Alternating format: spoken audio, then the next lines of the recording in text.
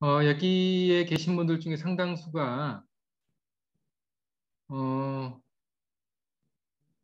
월요일 날, 그러니까 미국 시간으로 월요일 날 밤에 그 강의를 다 또 들었던 분들이 또 듣는데요. 뭐 반복해서 듣는 것은 나쁘지 않습니다. 어, 제 강의가 이렇게 특별한 건 없고요. 아주 간단하고 또 여러 번 들으면 좋은 게 이것을 어떻게 설명하고 남들에게 전할 수 있는지를 또 배울 수 있기 때문에 좋다라고 생각을 합니다. 어, 제가 배운 것, 코칭 기법으로 배운 것은 제가 지금 전하고 있는 것과는 사뭇 많이 다릅니다. 왜냐하면 제가 교인들을 대상으로 하기 때문에 제가 비교인을 대상으로 할 때는 성과 중심으로 굉장히 많이 합니다. 어, 꿈을 성취하고 그다음에 그 목표를 이루는 그 과정 중심으로 이렇게 많이 하는데 그 성도님들 대상으로 할 때는 영적인 부분들을 많이 접목을 시켜서 제가 진행을 하고 있습니다. 어, 기록 관리가 굉장히 중요하다라고 지난 시간에 했었는데요. 제가 저번에 보여드렸는데 다시 한번 제가 반복해서 보여드리겠습니다. 버킷리스트를 여러분들이 다 지난 시간에 적는 연습을 다 하셨죠. 그래서 버킷리스트를 가고 싶은 곳, 어, 아니야. 뭐죠? 하고 싶은 것, 그 다음에 가고 싶은 곳, 그 다음에 갖고 싶은 것, 나누고 싶은 것, 되고 싶은 것, 이렇게 해서, 어, 이게 적어보면 훨씬 더 수월하게 적을 수 있다라고 말씀을 드렸습니다. 기억나시죠? 예. 그래서 자기의 꿈을 기록하면 성취할 확률이 매우 높습니다. 어, 예전에 제가 설교 시간에 잠깐 예화로 말씀을 드렸었는데 1979년 하버드 경영대학원생들 대상으로 실험을 했던 설문조사를 했던 사례에서도 똑같이 나오는데요. 그 경영대학원에 다니는 학생들에게 어, 미래에 대한 어떤 구체적인 계획이 있습니까? 라고 물었을 때, 어, 많은 사람들이 막연하게 꿈이 있습니다. 라고만 말을 했어요. 근데 기록한 게 있습니까? 라고 했을 때는 없었어요.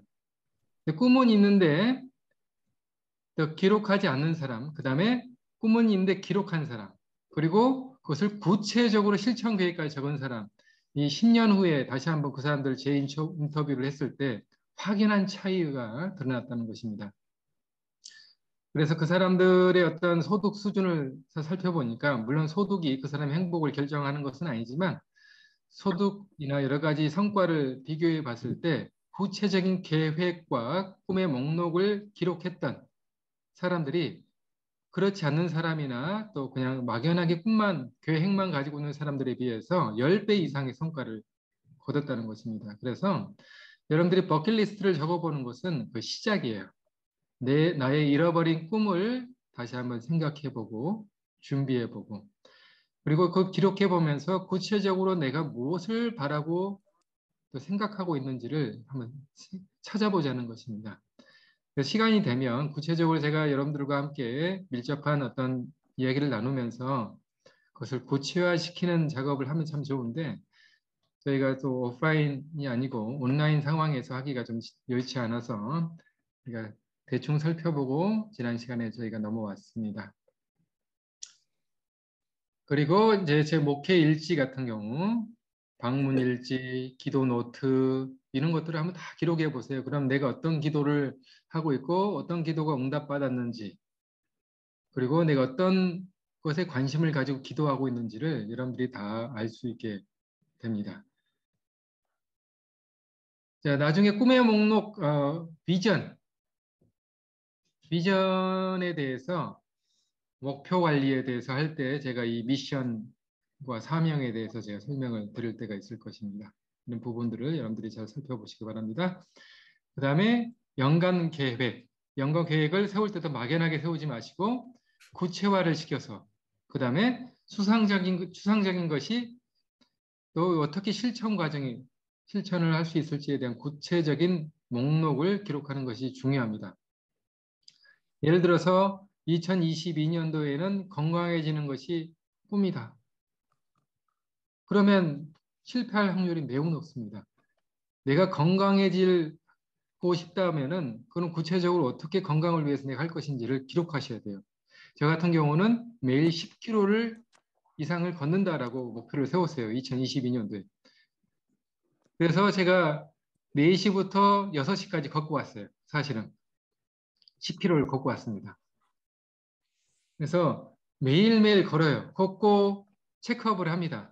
몇, 몇만 보를 걸었는지 내가 항상 확인을 하고 그리고 그것을 기록을 하시면 훨씬 더 좋습니다.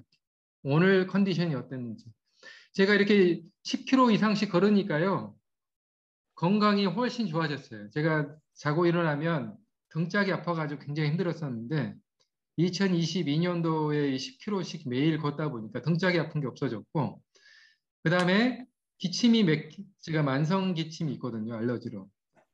그래서 굉장히 좀 고생을 하고 있었는데 어제부터 기침이 없어졌어요. 아멘. 네, 기침이 뭐 완벽하게 없어지지 않았지만은 거의 안 합니다.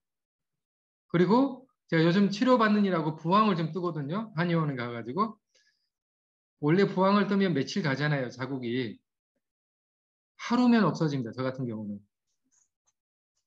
어제 제가 이게 부항 치료를 받고 왔는데 아침에 보니까 부항 자국이 없더라고요.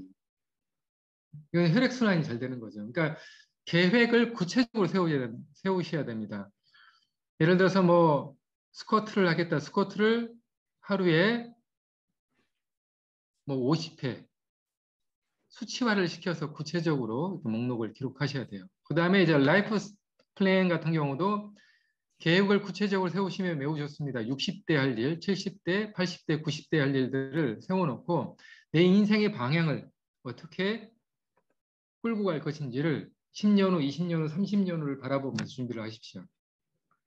혹시나 이제 은퇴하신 분들 중에 아유 내가 삶을 얼마나 살겠노 하고 이렇게 하신 분들 절대 그런 생각을 갖지 마시기 바랍니다. 지난 시간에도 말씀을 드렸죠. 95세 할아버지가 생신을 맞이해서 후회했던 게 뭐냐면 60세에 은퇴를 했어요. 그분이. 그럼 무려 몇 년을 더 사셨어요?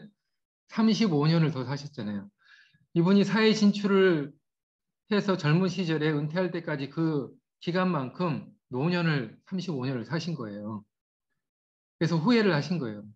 내가 살면 얼마나 살겠노 하고 매일 하시던 게 뭐냐면 등산하고 소일거리하고 이렇게 놀러 다니신 거예요. 그렇게 35년을 사시다가 95세 생일날 이분이 또 결심한 게 내가 얼마나 살지는 모르겠지만 외국어를 하나 좀 목회하겠다. 이 목록을 기록해서 이제 공부하기 시작하는 것입니다.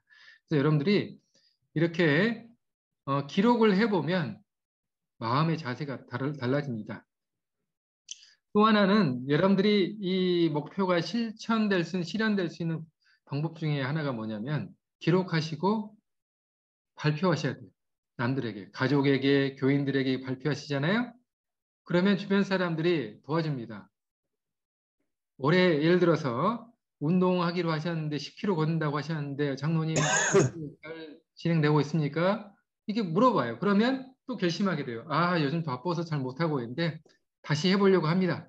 한다든지 아 요즘 또 잘 되고 있습니다. 라고 한다든지 계속해서 그것을 또 확인하는 작업을 또 할 수가 있게 됩니다. 그래서 내 입으로 바깥으로 뱉어낸 말이 말은 실천할 수 있는 확률이 그렇지 않은 경우보다 훨씬 높다는 것입니다.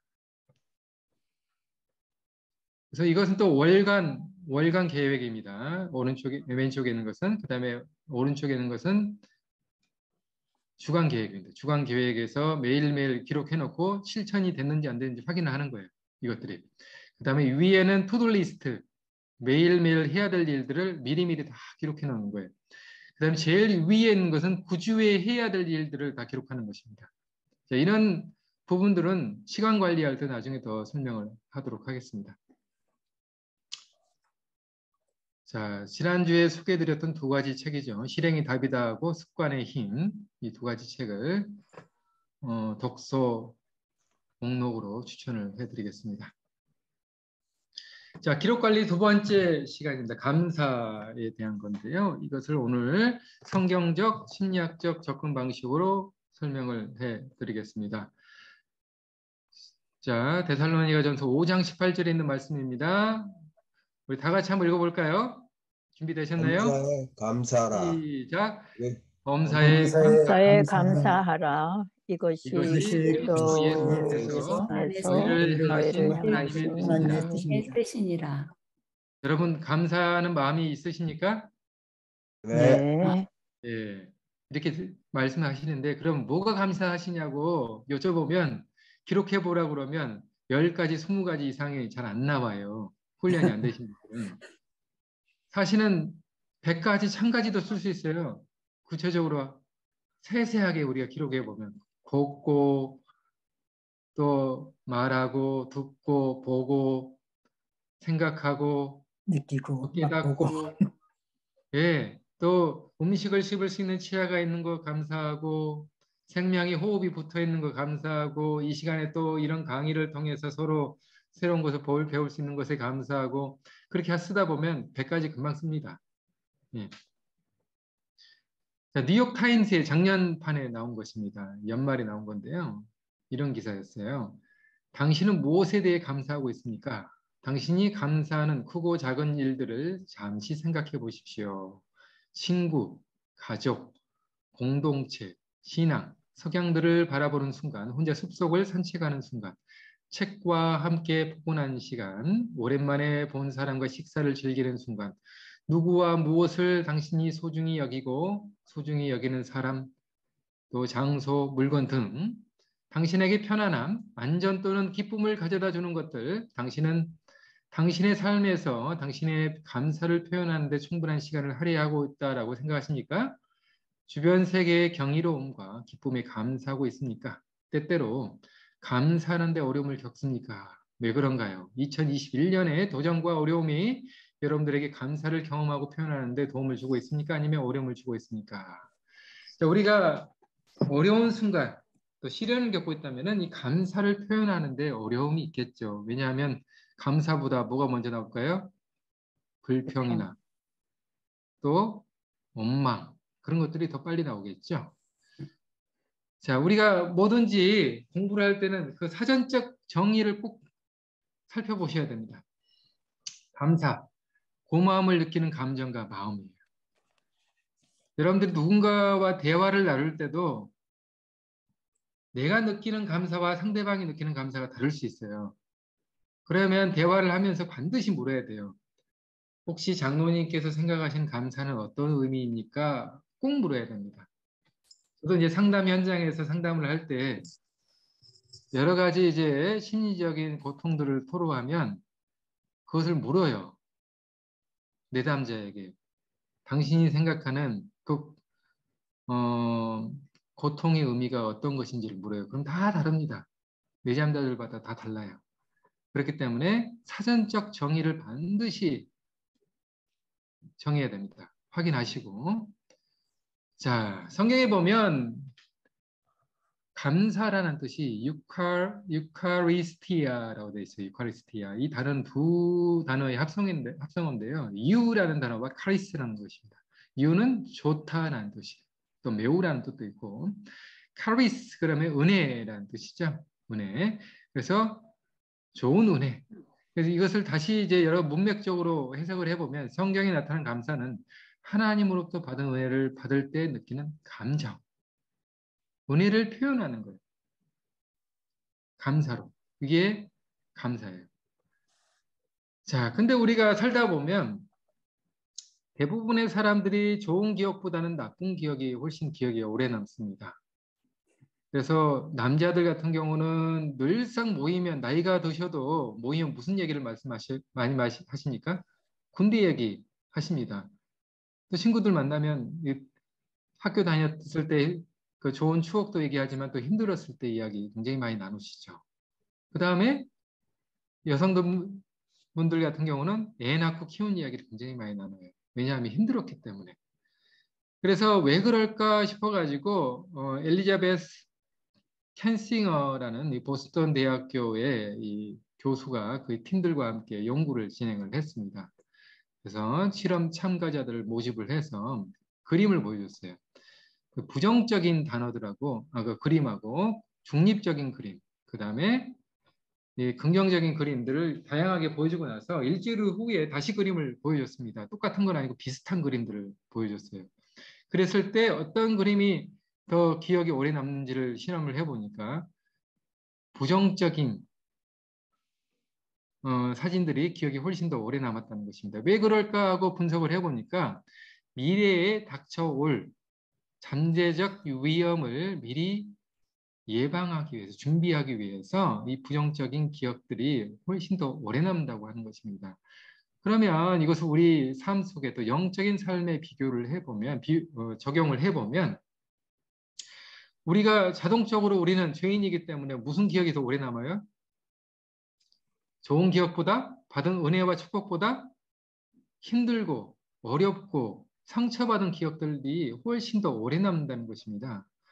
그 비건한 예로 이스라엘 백성들, 광야에 있었던 이스라엘 백성들의 사례를 보면 아주 잘 우리가 알 수가 있는데요. 출애굽기, 민수기, 신명기를 보면 그들이 광야에서 얼마나 많은 불평과 불만을 토로했는지 우리는 잘 알 수가 있습니다. 그들이 본 것은 받은 은혜와 축복을 본 것이 아니라 불편한 것, 받지 못했던 것, 부족했던 것만 본 거예요. 낮에는 구름 기둥과 밤에는 불 기둥으로 그들과 함께 하시고 매일 아침마다 만나를 내려주시며 반석을 통해서 물을 주시는 그 하나님을 바라본 것이 아니라 그 가운데 그들이 없는 것, 고기가 없어, 마늘이 없어서 뭐가 없어서 불평하면서 그들이 어디로 가려고 그래요? 그럴 때마다 애굽을 추억하는 것입니다. 그 애굽은 어떤 곳이에요? 그들이 노예로 있었던 곳이죠. 그래서 노예의 삶으로 자꾸만 회귀하려는 모습을 보이는 것입니다. 이게 바로 노예 사상이에요. 불평과 불만에 젖어 있는 사람들은 노예 사상에 젖어 있는 사람들이에요. 우리 주변의 교회나 다 살펴보십시오. 불평하는 사람들은 다 어느 쪽으로 가 있냐면 그들의 생각이 과거로 가 있어요. 예전에 그 목사님은, 예전에 우리 교회는, 예전에 우리 교회 시스템은 그런 얘기를 자꾸만 하면서 왜 당신은 안 그러느냐 하면서 너무나 힘들면 차라리 내가 교회를 다니지 말아, 말까 저 세상으로 가야 되나 그런 유혹을 받게 되는 것입니다. 그러나 우리 재림교인들은 어디를 바라보는 백성들이에요? 저 하늘 가나안 땅을 바라보는 사람들이잖아요. 진군하는 백성이에요. 앞으로 가야 되는데 불평과 불만을 갖게 되면 어디로 가게 돼 있어요? 저 세상 노예로 자꾸만 회귀하려는 습성을 갖게 된다는 것입니다. 이게 죄인의 습성이에요. 그래서 우리가 그것을 이겨내기 위해서 해야 될 게 뭐냐면 하나님께로부터 받은 축복과 은혜를 기록하는 것입니다. 기록하고 나누는 거예요. 굉장히 중요한 것입니다. 자, 이, 이것은 이제 모압 땅에서 모세가 이스라엘 백성들에게 고별 설교를 하는 장면입니다. 그래서 모세가 이스라엘 백성들에게 40년간의 하나님의 축복과 은혜를 회상하면서 뭐라고 그래요? 이스라엘이 너는 행복자로다 라고 얘기를 합니다. 너같이 이렇게 구원을 받은 백성이 어디 있느냐. 그 광야의 그 40년간의 그 여정을 생각해 보면서 사실은 여러 가지 힘들었던 기억도 있을 거 아닙니까? 모세 같은 경우는 반역했던 경우. 그 다음에 뭐 금송아지도 만들고 불평하고 막 그런 것들을 한 몸에 다 이 모세가 받으면서 얼마나 화가 났던지 반석을 몇 번이나 쳤어요. 두 번이나 쳐가지고 그 성질에 못 이겨 두 번 쳐가지고 그 그렇게 가고 싶었던 가나안 땅에 못 들어가는 그 안타까운 그 순간에 이 모세가 이 신명기서를 마무리해 가면서 마무리할 때 뭐라고 그래요? 이스라엘이 너는 행복자로다. 네. 그런 말을 할 수 있었던 것은 모세의 시각은 노예의 시각이 아니라 구원받은 백성의 시각으로 하나님께로 받은 축복과 은혜를 감사로 들을 줄은 그런 태도를 가진 사람이었다는 것을 우리가 알 수가 있습니다. 그래서 성경적 감사의 특징이 무엇인가? 첫 번째는 감사는 하나님의 은혜에 대한 반응이라는 것입니다. 누가복음 17장에 보면 10명의 나병 환자들이 예수님께 오죠. 꼭 낫고 싶은 정말 그 염원이 있었죠. 그 예수님께서 그들을 불쌍히 여기셔서 어? 가서 제사장들에게 보이라고 그러죠. 근데 가다가 그들이 나았어요. 근데 그 중에 아홉 명은 그냥 갔는데 한 명이 되돌아 왔어요. 그 사람이 누구예요? 이 사마리아인 나병 환자입니다. 예수님께 와가지고 뭐예요? 감사의 표현을 합니다. 감사. 그래서 감사의 표현을 했더니 예수님께서 가라 내 믿음이 너를 원했다. 원했다. 얘기를 하는 것입니다. 그래서 감사라는 것은 우리의 삶을 바꾸는 것입니다. 그래서 감사는 하나님의 은혜에 대한 자연적인 반응이에요, 반응. 근데 우리가 안식일 날 교회 가가지고 찬양하고 예배드리고 하는 게 다 뭐예요? 하나님께로서 받은 그 은혜와 축복을 감사로 드리는 은혜, 은혜를 감사로 드리는 표현이에요, 표현. 그게 예배예요. 근데 우리가 일주일 내내 바삐 살면서 하나님께로 받은 축복과 은혜를 다 잊어먹고 살았어요. 그 안식일 날 찬양하려고 그러면 찬양이 나오겠습니까? 안 나와요. 피곤합니다. 지쳐요. 그래서 어, 오늘따라 목사님 설교가 조금이라도 길면 뭐 짜증이 납니다. 빨리 쉬고 싶은데. 그러니까 받은 은혜를 감사로 표현할 줄 모르는 사람들은 예배가 즐겁지가 않아요. 근데 은혜가 충만한 사람들은 찬양하는 게 그렇게 즐거워요. 그래서 감사는 은혜 받은 백성의 자연스러운 표현이다. 두 번째는 감사는 죄인이 하나님의 은혜에 반응하여 나타나는 기쁨의 감정이에요. 기쁨. 찬양이 언제 나옵니까? 기뻐할 때 나오는 거잖아요. 감사제를 드리며 노래하여 그가 행하신 일을 선포할지어다. 그래서 감사는 우리가 하나님께 들을 수 있는 정말 최고의 모습이라는 것입니다. 감정적 표현이에요. 네. 세 번째는 감사는 죄의 용서를 받은 죄인이 하나님께 반응할 수 있는 특권이에요. 죄 용서의 은혜를 받은 사람이 하나님께 감사로 찬양하고 하나님께 예배를 할 수 있는 것이죠. 시편 50편 23절 감사로 제사를 드리는 자가 나를 영화롭게 하나니 그의 행위를 옳게 하는 자에게 내가 하나님의 구원을 보이리라. 근데 우리가 창세기 4장에 보면 가인과 아벨의 두 이야기가 나오죠. 아, 한 이야기가 나오죠. 두 형제 이야기가 나오죠. 근데 가인은 어떤 사람이었어요? 현실에 늘 불평과 불만이 가득한 사람이었어요. 그래서 반역의 감정을 품고 이게 다 누구 때문이라고 그래요? 아버지 아담 때문에 우리가 어쩔 수 없이 이렇게 살 수밖에 없었다라고 하면서 불평하는 것입니다. 그래서 불평은 사단이 우리 마음속에 분열의 씨앗을 뿌리는 거예요. 근데 그 불평을 이기는 것이 뭐예요? 감사입니다. 감사. 로마서 12장 1절에 보면 그러므로 형제들아 내가 하나님의 모든 자비하심으로 너희를 구원하노니 너희 몸을 하나님이 기뻐하시는 거룩한 산에 이는 너희가 들을 영적 예배입니다. 이 영적 예배 우리 우리가 하나님께 어떻게 우리를 산 제물로 드릴 수 있을까요? 어떻게 해요? 우리를 죽여야 됩니까? 구약 시대에는 내 대신 누가 죽었어요? 양이 죽었어요. 예, 양이 죽었어요. 양이. 희생 제물이 죽었습니다. 그래서 내 죄를 희생 제물 머리 위에 얹어놓고 회개합니다. 고백해요. 고백의 제사를 드립니다. 이게 상한 신령입니다. 고백의 제사를 드리고 이 희생 제물을 내가 죽어야 될 죽어야 될 자리에 이 죄, 죄가 전가된 이 제물을 잡습니다. 그리고 제사장에 줘요. 그럼 제사장은 그걸 어떻게 해요? 번제단에 태울 건 태우고 피는 또 성소에 가서 뿌릴 건 뿌리고 이렇게 하는 것입니다. 그래서 번제잔에 희생 제물을 다 태우고 나서 그 연기가 올라가면 하나님이 그걸 뭐 한다고 그랬어요? 옛날 말로 흠향이라고 그러죠. 그것을 기뻐 받으시는 것입니다. 그게 레위기 1장 4절. 그는 번제물의 머리에 안수할지니 그를 위하여 기쁘게 받으심이 되어 그를 위하여 속죄가 되십니다. 속죄가 되는 그 제사를 하나님이 기뻐하신다는 것입니다. 왜요? 죄 용서가 일어나기 때문에.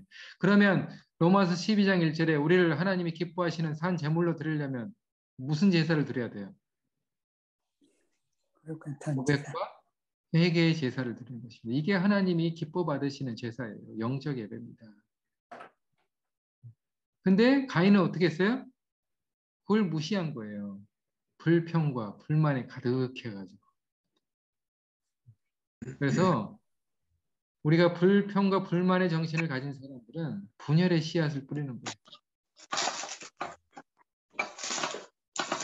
그러면 어떻게 우리가 감사의 삶을 살 수 있을까요? 감사를 우리가 더 배양할 수 있는 방법. 첫 번째는 하나님의 축복과 은혜를 생각하는 것입니다. 매일매일 하나님 내게 주신 축복을 생각하는 거예요. 시편 103편 2절에 보면 내오나 여호와를 송축하며 모든 은택을 잊지 말지어다 그랬어요. 하나님께서 우리에게 주시는 그 은혜를 매일 기억하는 거예요. 그가 내 모든 죄악을 사하시며 내 모든 병을 고치시고 내 생명을 파멸해서 성량하시고 인자와 국률로 관을 씌우시며 좋은 곳으로 내 소원을 만족하게 하사 내 청춘을 독수리 같이 새롭게 하시는도다. 용서의 은혜 또 여러 가지 축복들을 기억하고 기록하면서 살아갈 때 우리의 삶은 바뀔 수 있다는 것입니다. 놀린 더 맥, 맥크라티라는 어, 플로리다 주립대학교 교수님이 계세요. 심리, 심리학과 교수님이 실험을 했는데요. 이 1998년에 45명의 성인 남녀를 모아서 감사 훈련을 시켰어요. 감사 훈련을 시키고 감사를 에 대해서 매일매일 생각하도록 이렇게 표현하도록 훈련을 시켰더니 이분이 이제 그 이 책에 보고하기는 23%나 감소했다는 것입니다. 뭐 이뿐만 아니라 뭐 정신적 또 여러 가지 영적 건강이 훨씬 더 배양됐다는 거예요. 이것뿐만 아니라 다양한 연구 사례들이 많이 나오고 있습니다. 자, 감사일기 두 번째는 감사일기를 쓰라는 거예요. 축 받은 축복과 은혜를 생각만 하고 있는 것으로 그치지 마시고 그걸 기록하는 거예요. 우리가 출애굽기 14장 17장 14절 잘 아시죠? 아말렉과의 전쟁에 승리했을 때 하나님께서 모세에게 네, 이것을 책에 기록하여 기념하게 했어요. 기념은 뭐 하려고 기념하는 거예요? 뭐 하려고요? 기억하려고. 네, 기억하려고 기록하게 하는 거예요. 하나님께서 가장 그 힘든 순간에 그 광야에서 이스라엘 백성들이 지쳐 있을 때 그 후미를 쳤던 아말렉 백성들과의 싸움에서 승리하게 하시는 하나님의 은혜를 기억하기 위해서 기록하게 하는 것입니다. 그래서 우리가 기록된 이 성경 말씀을 통해서 우리는 하나님을 배우는 거예요. 그 은혜를 기억하고 받은 축복을 우리가 느끼는 것입니다. 그래서 실제로 2003년에 어, 로버트 에몬스 교수, 이 어, 캘리포니아 대학교에 어, 로버트 에몬스 교수하고 그 다음에 어, 마이클 더 맥클러프 교수가 이 마이애미 대학교의 이 두 교수가 자기가 가르치고 있는 학생들 192명을 대상으로 어, 감사 실험을 했어요. 그래서 한 그룹에게는 어, 감사일기를 쓰게 하고 두 번째 그룹에게는 그 계속 살면서 느꼈던 좋지 않은 기억들을 쓰게 했어요. 그 다음에 세 번째 그룹에게는 좋지도 않은 또 나쁘지도 않은 그 기록들을 하게 했습니다.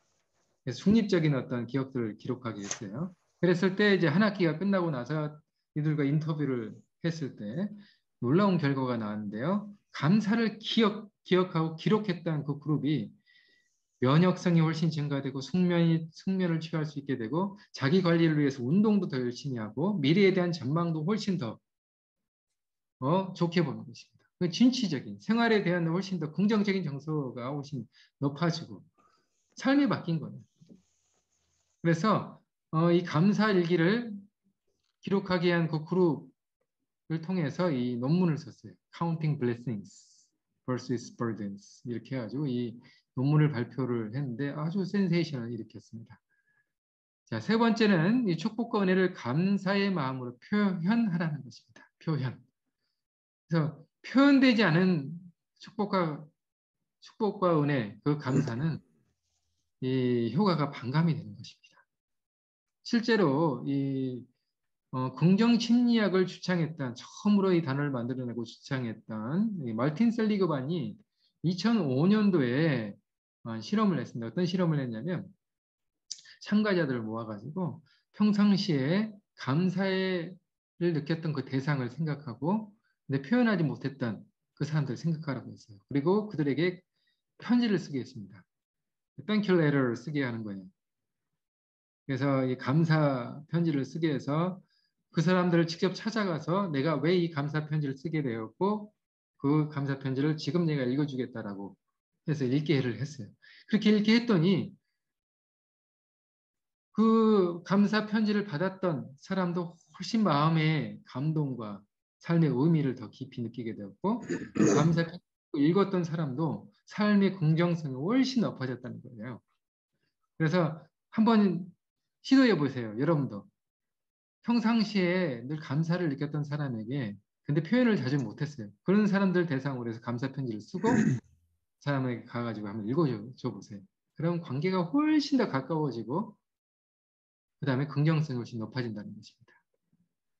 그 다음에 이제 사라 알고웨라는 이 교수님이 계세요. 이 교수님이 어, 노스캐롤라이나 교수님인데요. 이분이 어, 2010년도에 2010년도에 예, 부부들을 대상으로 67 커플을 대상으로 어, 실험을 했습니다. 어떤 실험을 했냐면 서로 이게 매일매일 느끼는 감사를 쓰게 했어요. 2주 동안. 기록하고 표현하고 이렇게 했더니 이 부부 관계의 만족도가 훨씬 높아진 거예요. 훨씬 높아졌어요. 그래서 이 부부 간에도 이 감사일기를 쓰고 서로 나누고 표현하고 하는 것도 이 가족의 분위기를 더 화기애애하고 또 긍정성을 높이는데 굉장히 큰 기여를 한다는 것입니다. 자, 책을 하나 제가 소개를 해드리겠는데요. 이 감사의 힘이라는 책 한번 읽어보십시오. 이 책에 또 여러 가지 이제 사례와 또 소스들이 많이 나옵니다. 그래서 여러분들이 감사를 하게 되면 삶을 삶이 바뀐다는 거죠. 단순히 이제 감사만 느끼는 것보다 그걸 기록하고 그 기록한 것을 한번 나눴을 때 여러분들이 그 긍정성이 훨씬 더 높아지고 또 영적인 어떤 깊이와 성숙도도 훨씬 높아진다는 사실을 우리가 성경과 여러 가지 실험을 통해서 우리가 배우게 되는 것입니다. 그래서 기록이라는 것은 단순히 쓰고 끝나는 게 아니에요. 그것을 기록하고 나눴을 때 내 것이 되는 거예요.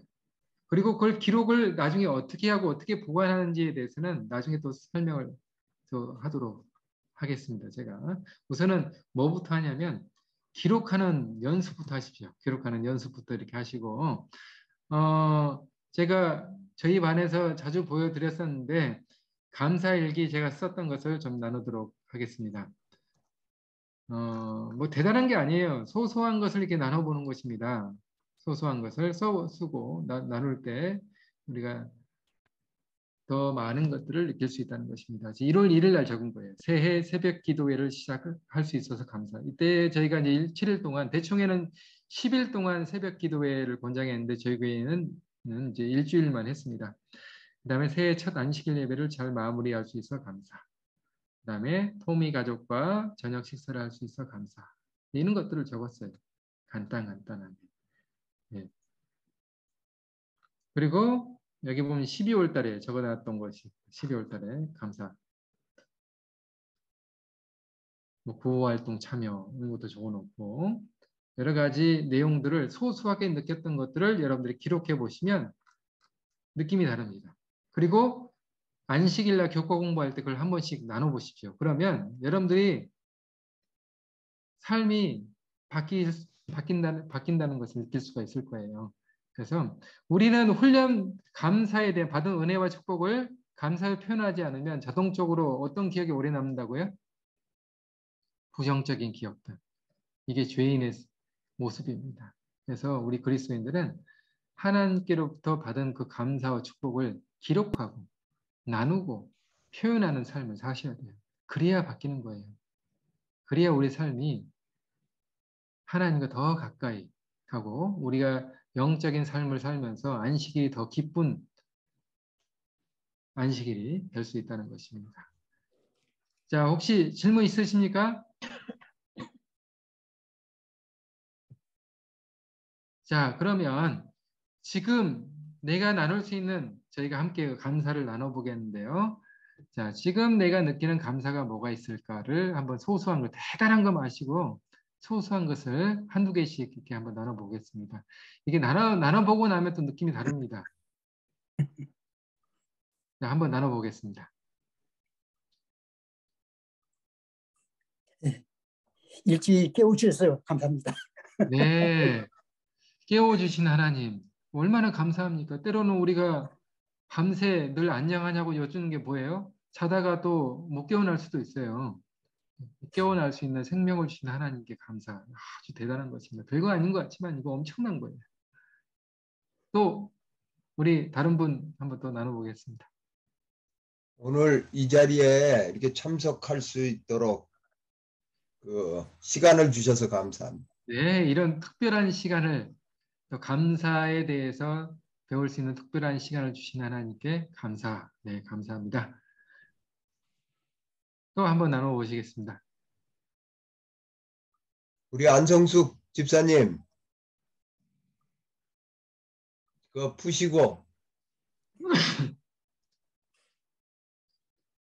뮤트 하시고 우리 양주에서 들어오신 우리 장로님, 아, 예, 저 양주에서 온 게 아니고요. 예, 저 성이 양, 양이고요. 아 한자입니다. 아, 예. 관악산 기숙에서 양, 하신다. 양장모님, 제가 그 하도 그 이름이 좀 독특해서 좀 그렇습니다. 그 저는 그 한 달 전부터 예, 아침 말씀 묵상 그 우리 별내교회 진찬수 목사님이 해주시거든요. 아, 그 이제 그 선교사야 어떤 선교사님이 좀 더, 더 같이 동역합시다. 그래서 아, 아 그러시자고 그랬는데 거기 소개 받아가지고 어 지금 3주차 지금 하고 있습니다. 지난달부터. 네. 근데 아, 그 예. 은혜가 은혜가 넘칩니다. 그 제가 이제 침례 받고 15년 됐거든요. 네네네. 늦게 60에 침례를 받았는데 정말 그 사회생활하고 이 어둠과 어둠의 세력과 그런 걸 이제 몸으로 영적으로 많은 갈급을 한 상태였거든요. 근데 네. 이제 아침 말씀 묵상 정말 그 신령한 아침이고 또 갈릴리 바다가 은혜의 바다처럼 특별히 어제 오늘 이렇게 그 예, 예, 그리스도 예표 뭐 그런 거 있었지 않습니까? 그 네. 감남산에서 네네. 그거에 이어가지고 또 오늘도 예수님이 그 베드로라든가 이 제자들 그 오늘 그, 그 이제 세 제자 세, 세 분을 같이 사- 산에 올, 두볼 산에 올라서 그 엘리야와 그리고 모세가 나타나서 세 분을 위해서 집을 지어 드릴까요? 뭐 이런 말씀을 하시는 걸 이제 묵상했는데 변화산 의 정말, 경험이죠. 정말 그 은혜로움을 이렇게 몸으로 느꼈습니다. 감사합니다. 네. 감사합니다. 이 모임을 어떻게 알게 되셨습니까? 아, 예, 그 제가 123 바이블을 우리 이영신 집사님하고 같은 카톡방에 최만혁 아, 예, 예. 저 있었는데 어떻게 터치를 하다 보니까 123 바이블이 나와서 들어와가지고 그래서 소개받았습니다. 근데 지난주에는 제가 시간을 그 오전 오후를 착각해가지고 오늘도 오전에 하는 줄 알고 들어갔더니 다른 분이 수업 신 집사님 그 수업이시더라고요. 네. 미국하고 여기랑 시차가 달라서 좀 어려움이 있었나 보네요. 하여튼 예, 오신 거. 환영합니다. 감사합니다. 네. 그 우리 조이스, 조이스로 들어오신 분, 요 묵음 좀 푸시고 본인 소개도 좀 한번 하시죠. 조이스, J-O-I-C.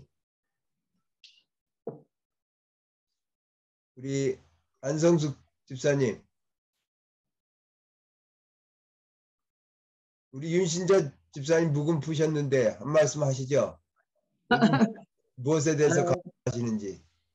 예, 저희 감사는 어, 제가 공산주의 교육을 어, 받았기 때문에 예수님을 모르고 살았거든요. 근데 하나님께서 저를 그 광활한 중국 땅에서 또 더 발전한 미국에 와서 하나님을 알게 되고 어, 예수님을 믿고 믿으면서 내, 내 일생을 나의 생애를 그 하나님께 하나님을 알고 하나님을 따르도록 이렇게 인도하시면 진심으로 감사드립니다. 아멘. 네. 아멘. 제가 감사를 분들에게 네. 팁을 하나 드리겠습니다. 그, 그 스마트폰에서 예수 동행 일기를 치시면 그 예수 동행 일기 웹이 떠요. 그러면 그 웹에다가 그냥 감사 그냥 이렇게 왜냐면 왜 좋으냐면요.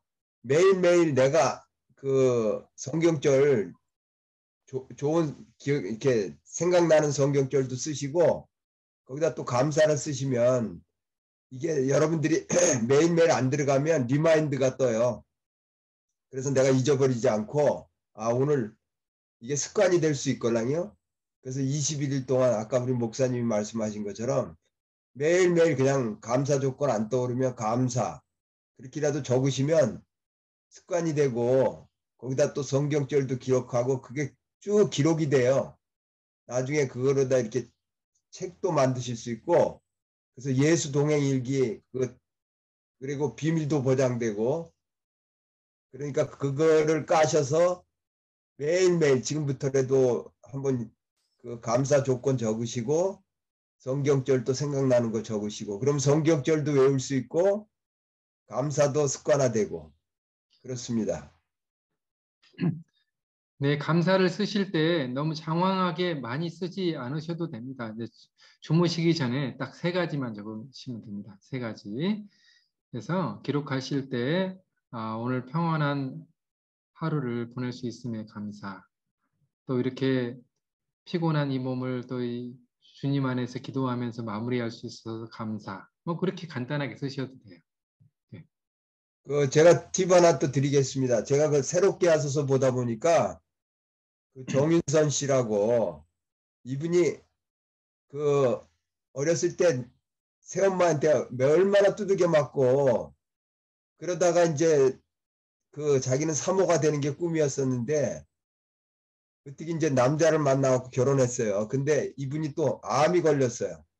근데 이 남편이 암 수술하고 포도가 먹고 싶다 그래가지고 마켓에 포도를 사러 갔는데 그날 지갑 지갑을 보니까 누가 소매치기가 지갑을 훔쳐간 거예요.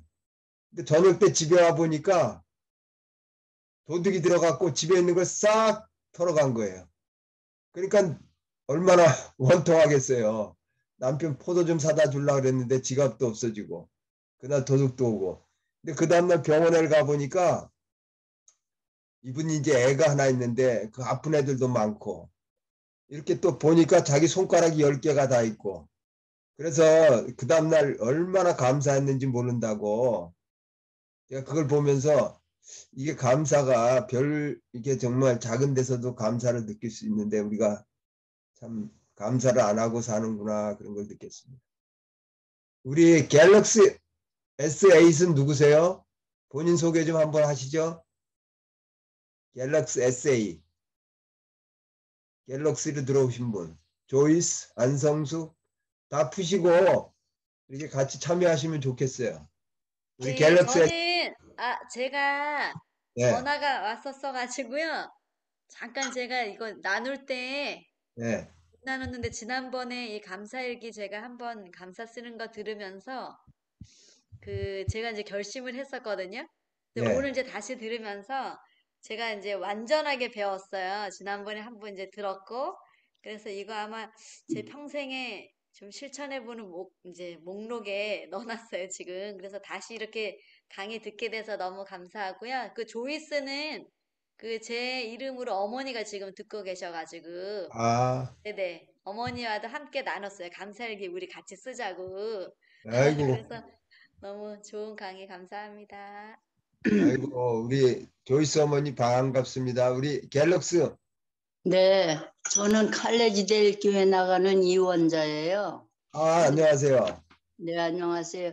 저의 잘 아는 집사님 박근수 집사님이 안내해 주셔서 오늘 처음 들어왔어요. 근데 예, 네, 참 좋은 순서네요. 저도 감사 일기를 쓰도록 하겠습니다. 감사합니다. 예, 저희가 아- 앞으로 다섯 번 더 강의가 있걸랑요. 네, 꼭 잊지 마시고 이 시간에 들어오세요. 네, 예, 감사합니다. 이원, 이원자 집사님 환영합니다.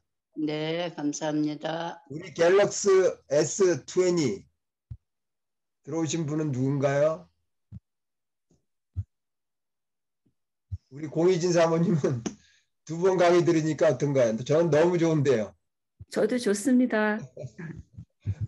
우리 감사 조건 우리 사모님은 감사 조건이 많을 것 같은데. 아니요, 저는 엄청 아, 부정적인 그런 불평불만이 많은 그런 어, 시간을 좀 보냈었었는데요. 이 어떻게 감사해야 되는지를 몰랐었어요.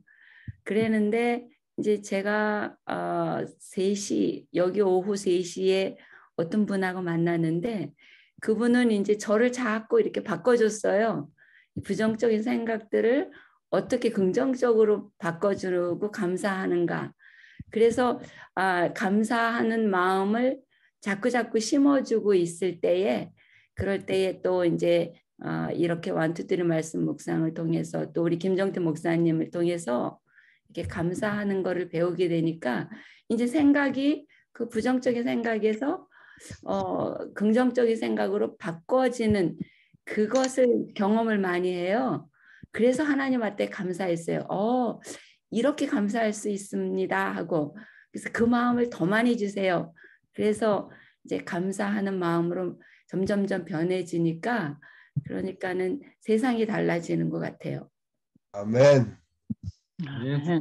우리 저 김양근 사모님 또 저기 네, 저- 저도 감사할 조건이 많이 있습니다. 근데 이제 이 시간에는 특별히 어, 제가 참 이렇게 구체화시키고 기록하는 거가 약한데 이거를 또 새삼스럽게 더 가슴 깊이 와닿게 하고 어, 어, 이것이 참 내가 가진 꿈을 이루는데 이렇게, 이렇게 중요한 거로구나 그런 생각을 할 수 있게 도와주셔서 감사합니다.